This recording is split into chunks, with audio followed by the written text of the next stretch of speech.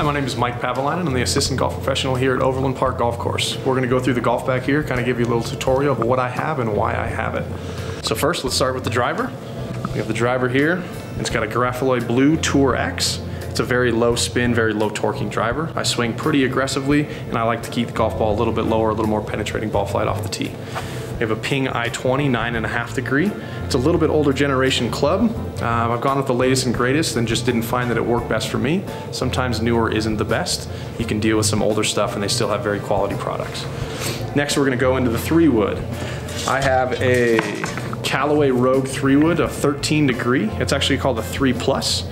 What the plus means is that it's a little bit stronger loft. It's more of a driving fairway wood as opposed to hitting it off the deck or off of the fairway or off the ground. It's got a HZRDUS Project X shaft in it. 6.5 means that it's an X Flex.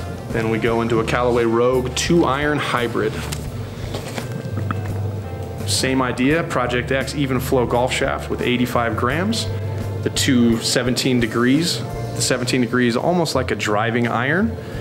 As far as the irons go, we have the four and the five and the six are in a cavity back cavity back meaning that it's got a little bit more girth to the golf club. The MOI, the moment of inertia, is a little bit higher, so that allows the stability of the club head to be a little bit better on off-center hits.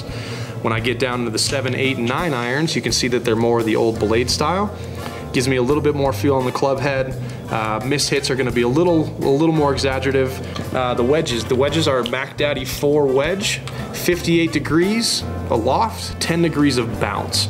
Bounce is essentially an anti-dig mechanism which allows the club to kind of level out through impact. Uh, that way we're not digging too down. With Denver, we have clay-based soil, so we don't want to have too much bounce because then we'll get a bouncing effect. We also want too little because then we'll dig into the ground and be a little bit too aggressive. Last but not least, we have the putter. I have an old Scotty Cameron it's a Newport mil spec. I've got some lead tape on the bottom of it. I didn't like how light the head was, so I rolled with a little lead tape to make the head a little bit more, a little heavier at the bottom so I could feel the swing a little bit more. All right, on the outside of the golf bag, we have club brush.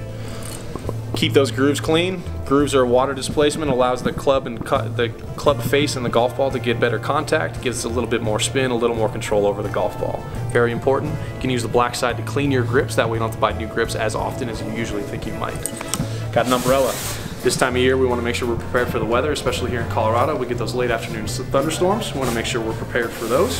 I've also got some rain gear in this big pocket. I've got the cover. I've got a jacket in here also. I've got some hand warmers, I've got a booklet where I keep a lot of information on my rounds, and then I've also got a game, golf games, side wagers, have a little fun with the buddies, some different options for us. I got balls in here, I've got tees, I've got some snacks and some food, some stuff for us to make sure that we're staying hydrated. And I got a rangefinder and I got some tees on this side. Got the alignment sticks. These are more for practice rather than for play. Um, just gets me set up, gets me aligned, gets me set up to the golf ball properly. Again, my name is Mike Paavilainen, assistant golf professional here at Overland Park Golf Course, uh, and that's what's in the bag.